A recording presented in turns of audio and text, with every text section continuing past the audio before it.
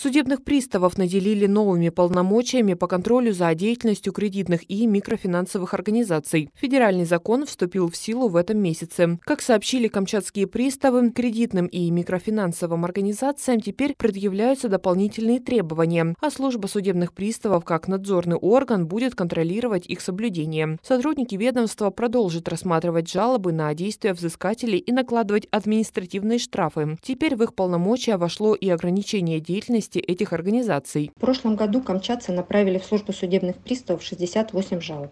Превышение полномочий были выявлены в 24 случаях. Составлено 13 протоколов в отношении микрофинансовых организаций, 10 в отношении банков, один протокол в отношении коллекторского агентства.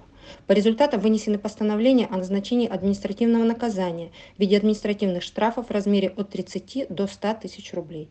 Общая сумма поступившим в законную силу постановления должностных лиц ФССП составила 1 миллион рублей. Все штрафы были оплачены правонарушителями в установленный срок. При этом юридические лица пытались оспорить в суде все постановления службы.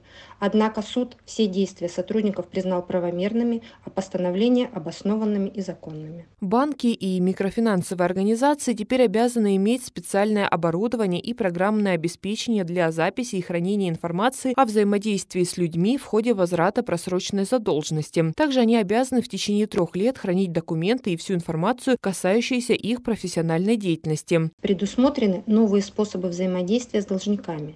Вести диалог с гражданином теперь сможет робот-коллектор без личного участия представителя организации.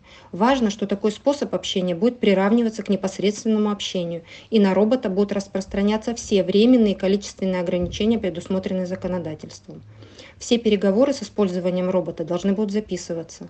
Кроме того, человек должен будет иметь возможность по своему требованию переключиться с бота на сотрудника организации. Новым способом взаимодействия с гражданами станет направление сообщений должникам через портал госуслуг. Этот способ приравнивается к электронным сообщениям. Для такого порядка общения потребуется, чтобы программное обеспечение коллекторской, кредитной или микрофинансовой организации было подключено к порталу государственных услуг.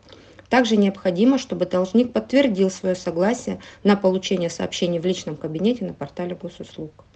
Нормативно определен порядок направления гражданам письменной корреспонденции.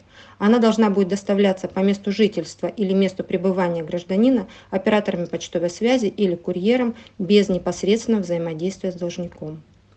Новый закон устанавливает право должностных лиц службы судебных приставов по ограничению профессиональной коллекторской или микрофинансовой организации использовать один или несколько способов взаимодействия в виде личных встреч, телефонных переговоров, использования автоматизированного интеллектуального агента или электронных сообщений. Отметим, подать письменную жалобу на действия кредиторов или лиц, представляющих их интересы при взаимодействии с клиентами-должниками можно через интернет-приемную на официальном сайте службы судебных судебных приставов по Камчатскому краю, либо письмом по адресу Петропавловск, проспект Рыбаков, дом 25.